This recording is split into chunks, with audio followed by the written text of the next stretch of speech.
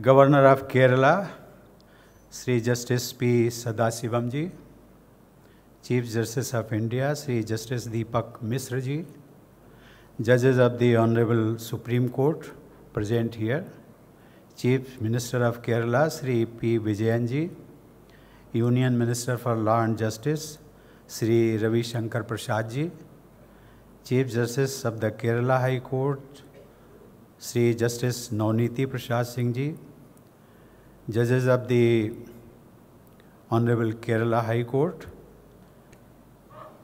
State Advocate General, former Supreme Court and High Court judges, Sri Thomas Abraham, President Kerala High Court Advocates Association, distinguished guests on the dais, ladies and gentlemen.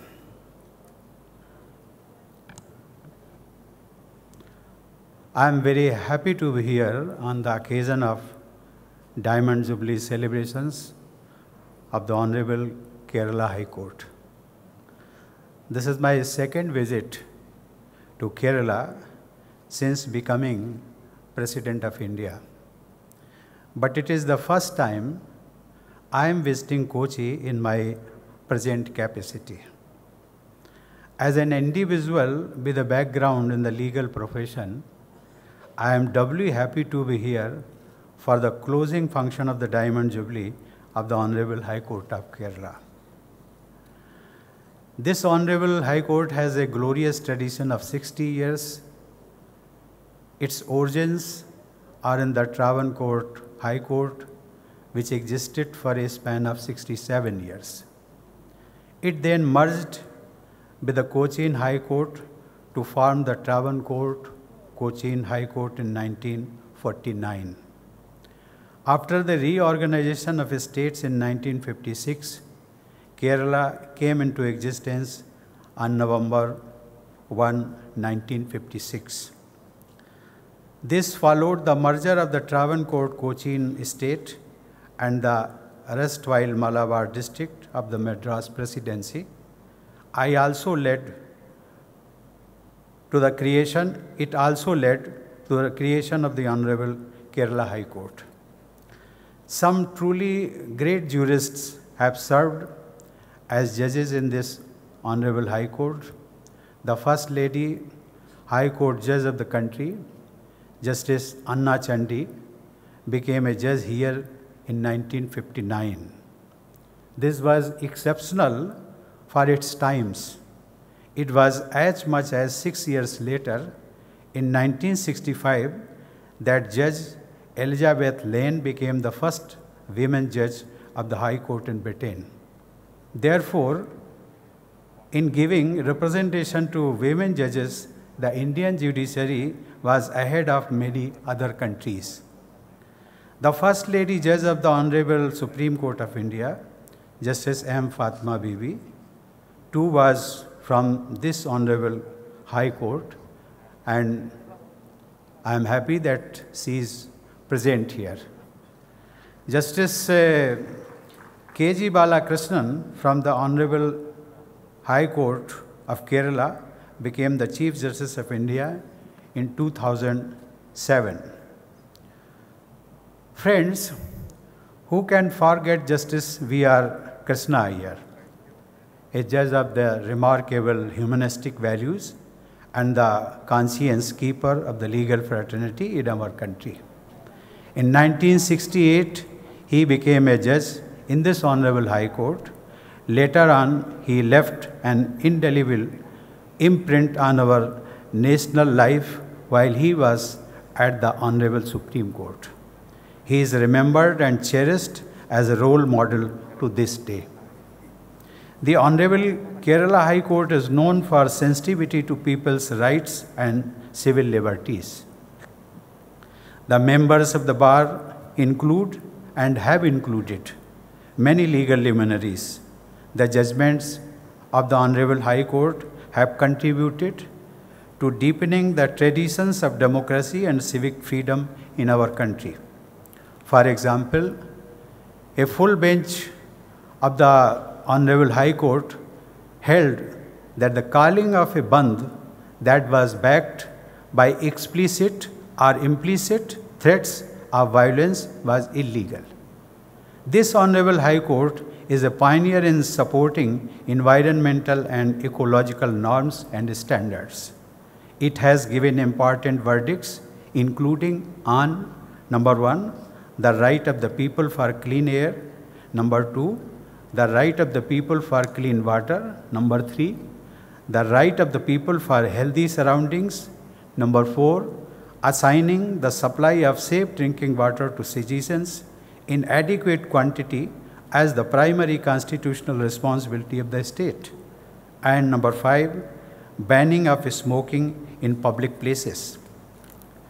The judiciary is one of India's most valued and respected institutions. Its fearless and independent functioning and stature has enhanced India's credibility in the democratic world. Every Indian is proud of the judiciary and respects its verdicts and its commitments to the values that embody our nationhood. The constitutional framework rests on the three pillars of judiciary, the legislature, and the executive. Our constitution is perhaps the best document in the world in laying down the balance between the roles of these three institutions. Friends, delay in justice delivery is a pressing concern in our country. Often, those who suffer are among the poorest and most underprivileged in our society. We must find mechanisms to ensure quick disposal of cases. We could all consider an approach that makes adjournments the exception in an emergency situation rather than a tactic to prolong court proceedings. We must find a way forward. And I am happy to note that the present day judiciary is moving ahead in this direction. It is important to not only take justice to the people, but also to make it understandable to litigating parties in a language they know. High courts deliver judgments in English, but we are a country of diverse languages. The litigant may not be conversant with English, and the finer points of the judgments may escape him or her. The litigating parties will thus be solely dependent on the lawyer or another person to translate the judgment, this can add to time as well as cost. Perhaps a system could be evolved whereby certified translated copies of judgments are made available by the Honorable High Courts in the local or regional languages. This could happen in a period of, say, 24 hours or maybe 36 hours after the judgment is pronounced. The language could be Malayalam in the Honorable Kerala High Court or Hindi in the Honorable Patna High Court as the case may be. I have only made a suggestion. It is for the judiciary and the legal fraternity to discuss this and decide as appropriate. Friends, our society and economy have become more complex as well as more integrated with the global system.